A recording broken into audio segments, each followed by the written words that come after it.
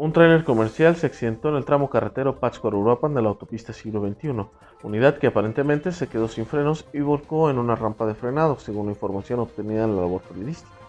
Con relación al tema, se pudo conocer que el pesado vehículo presuntamente se quedó sin frenos en la vialidad antecitada y a la altura de la población de San Ángel Surumucapio en el municipio de Siracuaretiro ingresó a una rampa de frenado. En la rampa el tractocamión volcó y el cargamento que trasladaba que eran varios costales de los cuales la policía no informó su contenido, acabó rogado sobre el terreno. El chofer por fortuna no resultó herido de gravedad y unos paramédicos de la región únicamente lo valoraron en el sitio sin que ameritara hospitalización. Al lugar acudieron los elementos de la Dirección General de Seguridad en Carreteras e Instalaciones de la Guardia Nacional, los cuales se encargaron de los peritajes respectivos para determinar responsabilidades. Una grúa llegó al área para remolcar el tráiler dañado y llevarlo a un corralón.